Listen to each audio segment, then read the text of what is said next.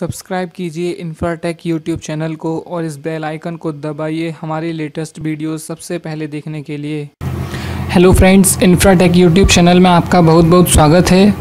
तो चलिए शुरू करते हैं इस वीडियो को। लेट्स गेट स्टार्टेड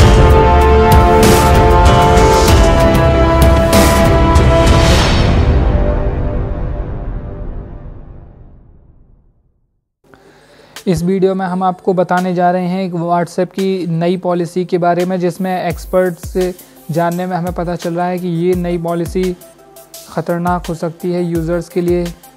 पूरी दुनिया में व्हाट्सएप के दो अरब से ज़्यादा यूज़र्स हैं, लेकिन व्हाट्सएप ने नई प्राइवेसी पॉलिसी जारी करके अपने यूज़र्स को काफ़ी संकट में डाल दिया है। यदि व्हाट्सएप के यूज़र्स 8 फरवरी तक उसकी शर्तों को नहीं मानते हैं और उनका अकाउंट डिलीट हो जाएगा। अगर व्हाट्सएप के यूज़र्स 8 फरवरी तक उनकी शर्तों को नहीं मानते हैं तो उनका अकाउंट डिलीट हो जाएगा और शर्त मान लेते हैं तो उनका डाटा फेसबुक के साथ शेयर किया जाएगा। व्हाट्सएप की नई पॉलिसी में कहा गया है कि यूज़र्स का डाटा फेसबुक के साथ शेयर किया जाएगा। और फेसबुक इस डाटे का इस्तेमाल एडवर्टाइजमेंट में करेगा या किसी अन्य काम में, यह अभी तक नहीं पता चला है, लेकिन एक्सपर्ट के मुताबिक फेसबुक व्हाट्सएप यूज़र्स के डाटा का इस्तेमाल एडवर्टाइजमेंट के लिए करेगा। नई पॉलिसी के आने के बाद व्हाट्सएप की काफ़ी आलोचना हो रही है। लोगों ने इसके विकल्प देखना शुरू कर दिए हैं, जिसमें टॉप पर उभर कर आ रहा है सिग्नल ऐप और टेलीग्राम ऐप ये ऑप्शंस अवेलेबल हैं। व्हाट्सएप की नई पॉलिसी पर एक्सपर्ट की राय हम आपको बताते हैं कि साइबर क्राइम और साइबर लॉ एक्सपर्ट के मुताबिक व्हाट्सएप की नई पॉलिसी को स्वीकार करना खुद को आग के हवाले करने जैसा है। नई पॉलिसी पर ओके करते ही आपका डाटा मोबाइल और कंप्यूटर पर व्हाट्सएप का अधिकार हो जाएगा और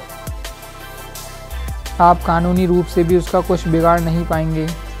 व्हाट्सएप की नई सर्विस पर साइबर एक्सपर्ट का कहना है कि व्हाट्सएप की नई सेवा शर्तें ऐसे समय में आई हैं जब भारत में डाटा प्रोटेक्शन को लेकर कोई कानून लागू ही नहीं हुआ है।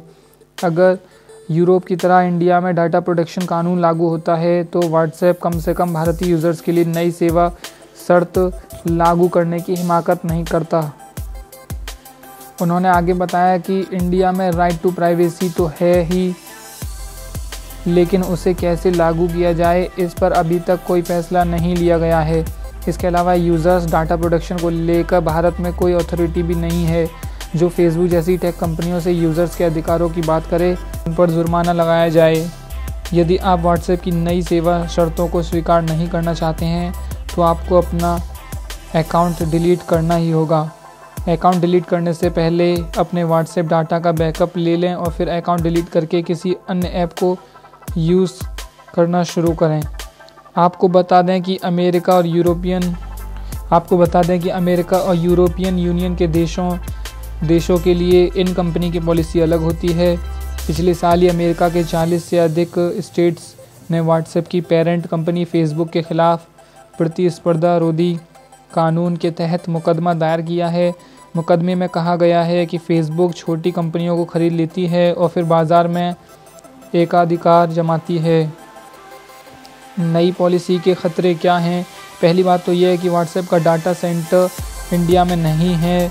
उसका डाटा सेंटर और मुख्यालय अमेरिका में है और व्हाट्सएप ने कहा भी है कि ज़रूरत पड़ने पर यूज़र्स की जानकारियों को वहाँ ट्रांसफ़र किया जाएगा। इसके अलावा नई पॉलिसी में यह भी कहा गया है कि कंपनी अपने यूज़र्स का इंटरनेट प्रोटोकॉल यानी आईपी एड्रेस फेसबुक इंस्टाग्राम और किसी अदर पार्टनर कंपनी को दे सकता है।